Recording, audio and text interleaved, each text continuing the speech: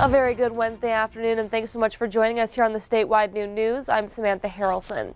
We start near Bozeman with a manhunt continuing in Park County this afternoon after authorities say a suspected drunk driver fired at officers early this morning. We've been following this story throughout the day, and we go to Bozeman now, where MTN's Mallory Peebles is standing by with the latest. This has been the staging area since early Wednesday morning, active with authorities coming and going, searching by ground and air. You know, it's, it's a 3D situation. There's all these places he could go. There's trees to hide under. He could be, he could literally be 50 yards away from us and we wouldn't see him. Park County Sheriff's Office is leading the search effort north of I-90, which includes law enforcement from Gallatin County, National Forest, the FBI, and ATF.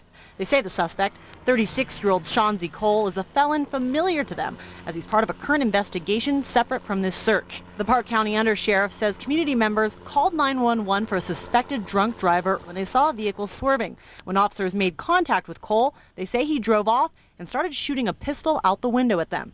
He did have a woman in the car with him, but she was taken into custody with charges pending. Neighbors in the area are being asked to be cautious and not make contact with Cole who authorities say is still armed and dangerous. People see this guy or think they see this guy, do not approach him. Call us, let us respond, and let us deal with it. For the latest on this developing story, be sure to check back with MTN News. Reporting from Bozeman Pass, I'm Mallory Peebles. Thanks so much, Mallory. And again, the man law enforcement is searching for is Shaunsey Cole. He's described as a 36-year-old white male, just under six feet tall, about 170 pounds, and currently has a red mohawk haircut. The sheriff's office initially provided the name and photograph of a man they identified as the suspect, but later Tuesday morning issued a statement saying they had incorrectly identified that man.